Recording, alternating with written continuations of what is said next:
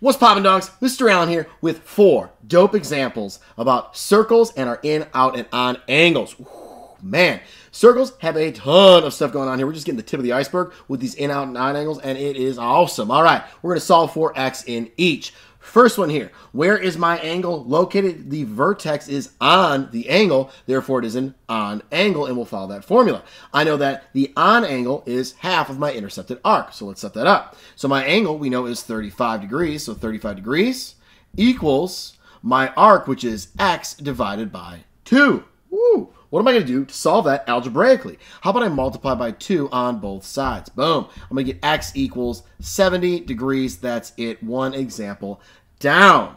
That's what I'm talking about. That's what I'm talking about. I'm going to change marker for this next one here because I want to. All right.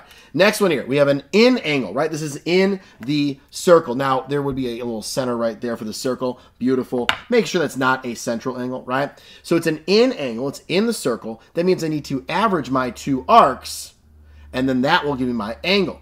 So let's set that up. So I'm going to have 60 plus x over 2. That is equal to my in angle. So that equals 40. Now we can go ahead and solve this algebraically. So I'm going to multiply by 2 on both sides. That's going to give me 60 plus x equals 80. And now I'll subtract 60 on both sides. And I've got x equals 20 degrees. Boom. Diggity. That is Dope, dogs. All right. 20 degrees for that one. Let's switch again. Let's switch again. All right. I got green this time. Now, over here, where is my angle? It is outside of the circle, therefore it's an out angle. So let's go ahead and set that up. That's the difference of the two arcs divided by 2. Big arc minus small arc over 2 is going to equal that angle. So I've got big arc, which is 70. I know it's the biggest one right there, right? That's the largest one. It's got to be bigger than that little x right there because it's going to keep going out. All right, one of the few times you can like assume relative size.